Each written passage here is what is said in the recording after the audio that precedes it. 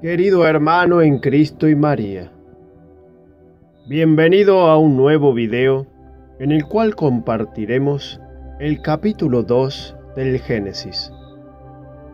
Antes de comenzar a escuchar la palabra de Dios, si no estás suscrito al canal, te invito a suscribirte y a darle me gusta al video. Para comenzar a leer la palabra de Dios, nos ponemos en presencia del Señor diciendo, por la señal de la Santa Cruz, de nuestros enemigos, líbranos Señor, Dios nuestro. En el nombre del Padre, del Hijo y del Espíritu Santo. Amén. Invocamos al Espíritu Santo para que nos ilumine y abra nuestro corazón a la gracia de Dios y recibir el mensaje que Él quiere darnos para nuestra vida. Ven Espíritu Santo, ven por la poderosa intercesión del corazón inmaculado de María, tu amadísima esposa, ven. Ven Espíritu Santo, a abrir nuestra mente y nuestro corazón a nuestro Padre Dios, a lo que Él quiere hablarnos a través de su palabra. Quita de nosotros todo lo que está mal, todo lo que nos aleja de Dios. Amén.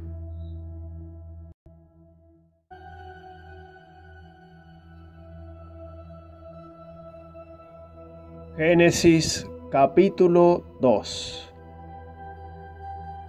Concluyéronse, pues, los cielos y la tierra, y todo su aparato. Y dio por concluida Dios, en el séptimo día, la labor que había hecho, y cesó en el séptimo día de toda la labor que hiciera. Y bendijo Dios el día séptimo y lo santificó, porque en él cesó Dios de toda la obra creadora que Dios había hecho.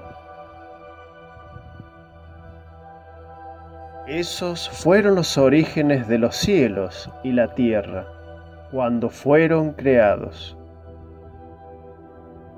El día en que hizo Yahvé Dios la tierra y los cielos, no había aún en la tierra arbusto alguno del campo, y ninguna hierba del campo había germinado todavía, pues Yahvé Dios no había hecho llover sobre la tierra, ni había hombre que labrara el suelo.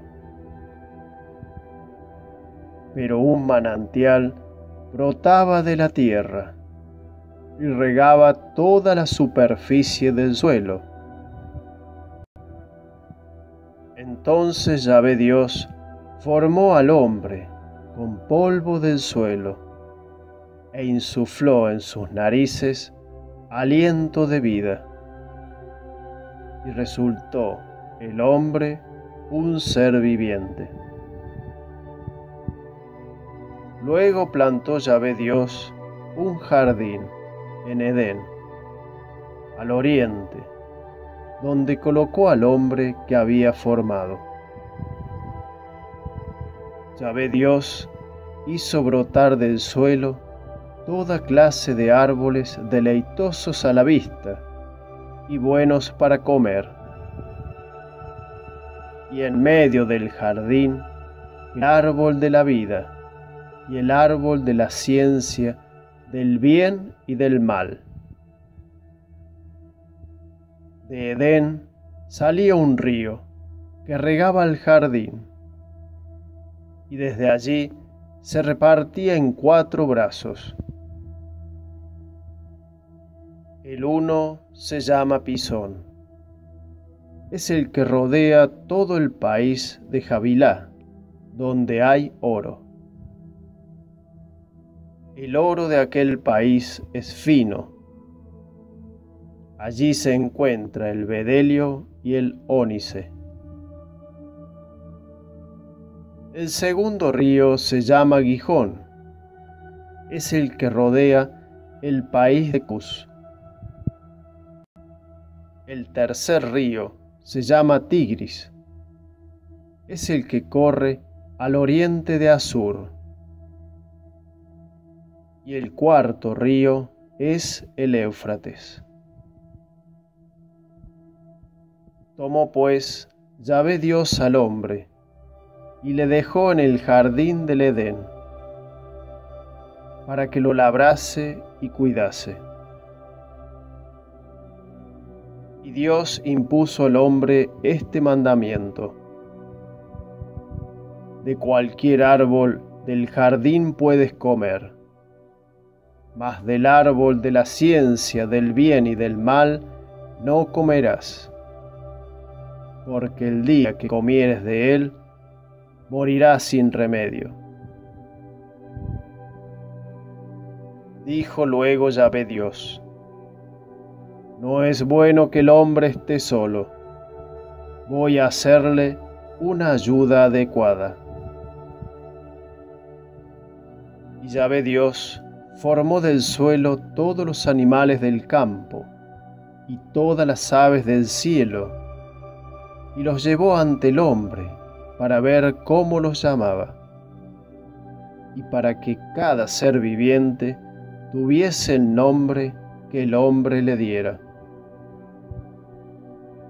El hombre puso nombres a todos los ganados, a las aves del cielo, y a todos los animales del campo.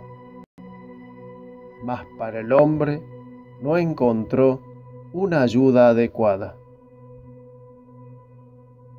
Entonces Yahvé Dios hizo caer un profundo sueño sobre el hombre, el cual se durmió, y le quitó una de las costillas, rellenando el vacío con carne.